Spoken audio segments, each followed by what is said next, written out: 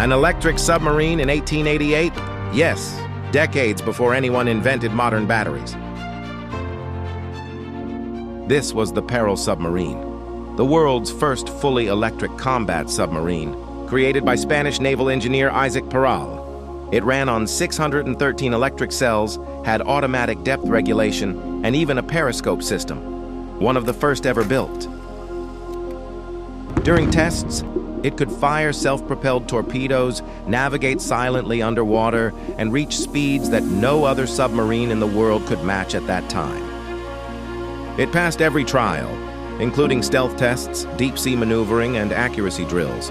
Naval experts called it 50 years ahead of its time. But politics killed the project. Rival officers sabotaged Peral, funding was cut, and the world's most advanced submarine was abandoned.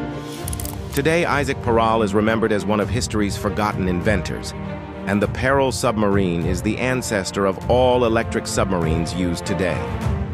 History hides incredible geniuses. Subscribe for more stories you've never heard before.